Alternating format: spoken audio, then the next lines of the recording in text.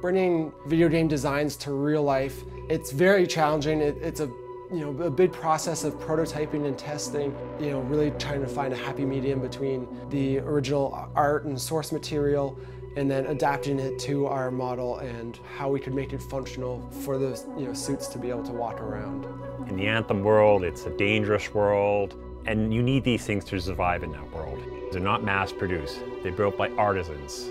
It needed to be something that you could get from this planet, which was metals and leather and rubber and cloth, and give it that feeling like, yeah, maybe this is something somebody could actually construct. We made sure that these suits were super functional so that uh, when, when it came time to build this stuff, a lot of the questions were answered.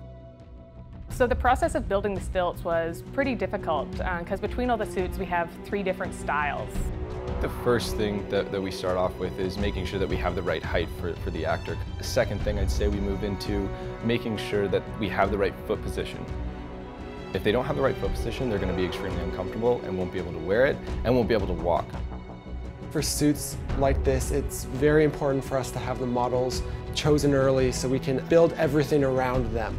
It's adapting their proportions and building the suit to fit them, but it's also uh, building onto their frame to get the silhouettes that we're looking for.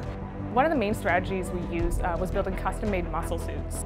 The muscle suits are basically spandex suits that have uh, foam padding inside to build out proportions. You need to build out their hips and their waist and their shoulders and their arms and everything in between.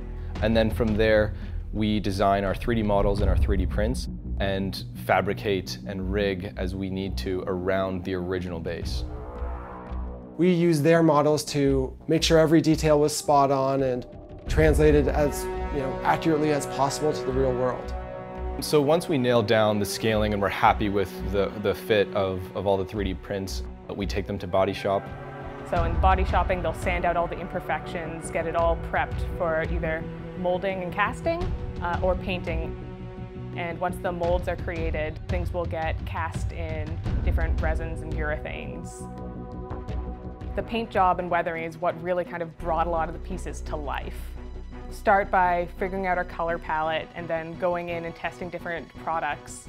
There's lots of meticulous taping off of sections that are going to get different weathering to make sure all the colors are in the right spot, and the right tone, and then all the dirt that's layered on top, wiped away, layered on top again. It's a lot of meticulous work that goes into making something look like real metal and also dirty, even though it's not.